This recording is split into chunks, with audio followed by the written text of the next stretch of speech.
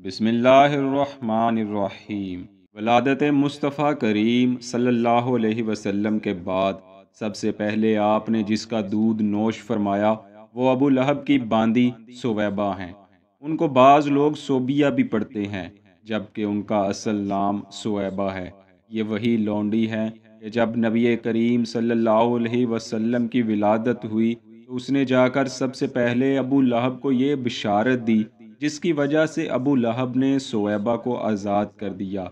ये दो शंबा, यानी पीर का दिन था। अबू लहब के अजाब में तखफीफ के बारे में जो हदीस पाक बयान हुई है, वो इसी वाक़े की तरफ़ इशारा करती है। जहाँ तक उस लोंडी सोएबा का ताल्लुक है, जिसने सबसे पहले आप सल्लल्लाहु अलैहि वसल्लम को दूध पिलाया तो उसके इस्लाम लाने में इख्तिलाफ पाया जाता है। बाज़ मुहदसिन उन्हें सहाबियात में शुमार करते हैं और रोज़ातुल अहबाब में है कि उन्होंने, यानी सोएबा ने सैदुलशहदा हज़रत अमीर हमज़ा रज़ी अल्लाह अनहो को भी दूध पिलाया है, जिसकी वजह से आप रज़ी अल्लाह अनहो की रसूलुल्लाह सल्लल्लाहु अलैहि वसल्लम के साथ रज़ाई भाई की नस्बत भी साबित होती है। अलगरज प्यारे आका सल्लल्लाहु अलैहि वसल्लम ने सात दिन अपनी वालदा माजिदा का दूध नोश फरमाया, और चंद दिन सोएबा भी आपकी खिदमत में रही। इसके बाद ये खिदमत उनके सपुर्द हुई कि जिन गुर्बत के मारों को इस खिदमत से पहले कोई जानता तक न था। मगर किस्मत उन पर कितना मेहरबान हुई कि वो दिन गुजरा और आज तक दुनिया के ताजदार उस घर की खिदमत को अपने लिए बायस फ़ख्र इज़्ज़त समझते हैं। वो घराना सैदा हलीमा सादिया रज़ी अल्लाह अनहा का था। हाफिज़ इबन कसीर रहमा, इबन इसहाक रहमा के हवाले से नकल करते हैं कि हलीमा सादिया रज़ी अल्लाह अनहा ने खुद रसूलुल्लाह सल्लल्लाहु अलैहि वसल्लम की उनके घर तशरीफ़ आवरी का वाक़ बयान किया है। आप फरमाती हैं, जब कबीला बनी साद में किसी साल मक्के में कई बच्चों की पैदाइश की खबर पहुँची तो बनु साद की औरतें उन बच्चों को उजरत पर दूध पिलाने के लिए मक्के की तरफ़ लपक पड़ी। यही मामूल था। अब की दफ़ा मुझ समेत कुल दस औरतें थीं, जो बच्चे हासिल करने के लिए रवाना हुई। इस मरतबा ख़ास बात ये थी कि मक्का के ज़्यादातर मुआज़ और शरीफ घरानों में कई बच्चों की पैदाइश की खबर मिली थी। यही वजह थी कि हर औरत की ये कोशिश थी कि जल्दी मक्का पहुंचकर सबसे ऊँचे घराने का बच्चा हासिल कर ले। चुनाचे मैं भी रवाना तो उनके साथ हुई, मगर दौरान सफ़र उन सबसे पीछे रह गई। इसकी वजह यह थी कि मैं जिस गधे पर सवार थी, वो मरियल सा था। दूसरा, मेरे साथ एक छोटा लड़का और एक शीर ख्वार बच्चा भी मेरे साथ था। शीर ख्वार बच्चा अब्दुल्ला बिन हारिस थे। जिनको अलैहि वसल्लम के रज़ाई बाई होने का शरफ हासिल हुआ और हारिस हलीमा सादिया रज़ी अल्लाह के शोहर थे। मनकूल है कि हारिस ने अपने बेटे अब्दुल्ला का नाम रसूलुल्लाह सल्लल्लाहु अलैहि वसल्लम के वालद मोहतरम हज़रत अब्दुल्ला के नाम से मुतासर होकर रखा था।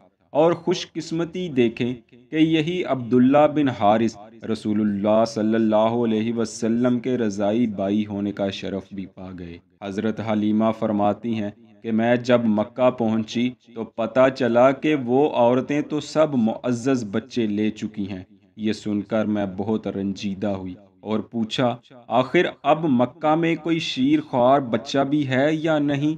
वो बोली, बस एक यतीम बच्चा है। अगर तू चाहे तो उसे दूध पिलाने के लिए ले ले। आप फरमाती हैं, मैंने सोचा, जो बच्चा पहले ही यतीम है, उसकी माँ मुझे दे भी तो ज़्यादा से ज़्यादा क्या होगा? लेकिन चूँकि उस बच्चे के अलावा कोई और बच्चा ना बचा था तो मैंने इसी को गनीमत जानते हुए लेने का फ़ैसला कर लिया। अभी मैं उस जगह थी, जहाँ बाकी औरतों ने रात गुजारने के लिए पड़ाव किया था। कुछ ही देर में तमाम औरतें सो गईं, मगर मैं सारी रात जागती रही। उसकी वजह ये थी कि मेरे और मेरे बेटे अब्दुल्ला बिन हारिस के लिए खाने को कुछ ना था और ना ही गधे के लिए चारा था। अब्दुल्ला सारी रात खाने के लिए रोता रहा, मगर मेरे दूध कहाँ उतरता? क्योंकि मैं तो खुद शदीद भूख की वजह से कमज़ोर हो गई थी। खैर, ये रात कटी तो मैं वही यतीम बच्चा लेने के लिए निकल पड़ी। कि खाली हाथ वापस लौटने से बेहतर है जो मिल रहा है, वही ले लिया जाए। आखिर कुछ तो उसकी माँ ज़रूर देगी कि जिससे हम अपनी भूख मिटा सकें। इस सोच में गुम उनके दरवाजे पर जा पहुँची। मुझे अंदर आने की इजाज़त मिली। तो सबसे पहले तो मैंने बच्चे की माँ को देखकर हैरान रह गई। बेशक बच्चा यतीम था, मगर माँ का हशाश बशाश चेहरा कोई और ही खबर दे रहा था। यकीनन वो साबर व शाकिर माँ थी। वो मेरे साथ बड़े उम्दा अंदाज में पेश आई और मुझे जो उजरत दी, वो भी मेरी तवक्को से बहुत ज़्यादा थी और ये भी हैरान कन था। इसके बाद मैंने देखा कि वो महताब नबुवत एक ओनी कपड़े में लिपटे हुए थे, जो दूध से ज़्यादा सफ़ेद था और उससे कस्तूरी की खुशबू आ रही थी। आपके नीचे एक सबज रेशमी कपड़ा था और आप पीठ के बल लेटे हुए सांस ले रहे थे।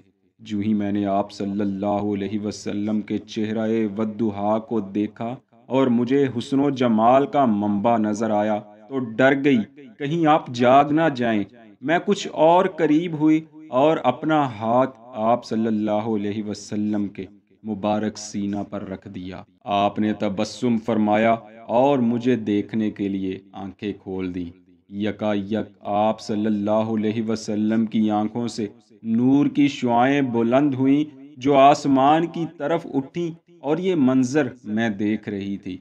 और हाफिज़ इबन कसीर नकल करते हैं कि आप फरमाती हैं, वो बच्चा जिसे मैं यतीम समझकर मजबूरन लेने आई थी, वो इतना खूबसूरत था कि मैंने अपनी सारी ज़िंदगी उससे ज़्यादा खूबसूरत बच्चा कभी नहीं देखा था। वो जब हमक कर मेरी गोद में आया और फिर मेरे सीने से लगा तो मुझे इतना सुकून मिला, जिसका बयान मुश्किल है। ये बच्चा लेने के बाद मेरा हाल ये था कि मैं मायूस और उदास होने की बजाय उन सब औरतों से खुद को ज़्यादा खुशकिस्मत समझने लगी थी। बेशक वो बड़े बड़े घरानों से बड़ी बड़ी रकमों के इवज बच्चे ले आई थी मगर वो सब बच्चे मिलकर भी इसका मुकाबला नहीं कर पा रहे थे। उसके हुसन को पहुँचना तो दूर, करीब करीब भी ना थे। एक और हैरानगी की बात ये थी कि दूसरे बच्चों ने रो रो कर सारा काफिला सर पर उठा रखा था। मगर ये था कि जब से मेरी गोद में था, तब से ही इंतहाई खामोश, मगर मुस्कुराता हुआ। और एक अजीब बात और आपने बयान फरमाई कि मेरा वो मरियल सा गधा जो आते वक्त बड़ी सुस्ती से चल रहा था, अब उतनी ही तेज़ी दिखा रहा था। हत्या कि वो औरतें मुझसे कहने लगी, तेरा गधा तो हवा से बातें कर रहा है, आखिर अब इसमें इतनी जान कहाँ से आ गई? और मैं तो खुद उसकी इस कदर तेज रफ्तारी पर सख्त हैरान थी। खैर, जब मैं अपने घर पहुँची तो अपने शोहर को सारा किस्सा सुनाया तो उसने गम का इजहार करने की बजाय खुशी का इजहार किया। और जब हारिस ने पहली बार प्यारे आका सल्लल्लाहु अलैहि वसल्लम को देखा तो कहने लगा, अरे, ये तो कोई शहजादा मालूम होता है। तू ये परिजात कहाँ से ले आई? ये तो उन गिलमानों से भी यकीनन ज़्यादा खूबसूरत है कि जिनका ज़िक्र नसरानी किया करते हैं कि वो जन्नत में होंगे। और ज़रा बच्चे की मतानत और संजीदगी तो देखो। जब से आया है, बस आँखें खोल ले, खामोशी से आसमान की तरफ़ तकते जा रहा है। मुझे तो ये कोई फरिश्ता मालूम होता है। आप फरमाती हैं, मैंने जब हारिस को उसका नाम और उसके ख़ानदान से मुतलक बताया तो वो बोला, वो ख़ानदान तो कुरैश में सबसे ज़्यादा शरीफ और मुआज़ ख़ानदान है। अफसोस है कि इस बच्चे का बाप अब्दुल्ला वतन से दूर आन जवानी में फौत हो गया। लेकिन मुझे यकीन है कि उसका ये बेटा, जिसकी विलादत वो अपनी आँखों से ना देख सका, बड़ा होकर बड़ा ही खुश नसीब और साहिब इकबाल होगा, जिसके आसार अभी से इसके चेहरे से अया हैं। हज़रत हलीमा सादिया मज़ीद फरमाती हैं कि जिस रोज़ से ये बच्चा हमारे घर आया है, उस दिन से मेरे घर का कोई बिस्तर या कपड़ा इसके बोलो बराज से ख़राब होना तो दूर, उनका कोई निशान तक कपड़ों पर ना आया। वो बकरियाँ जो पहले कम दूध देती थीं, अचानक उन्होंने इतना दूध देना शुरू कर दिया कि जो किसी मोजा से कम न था।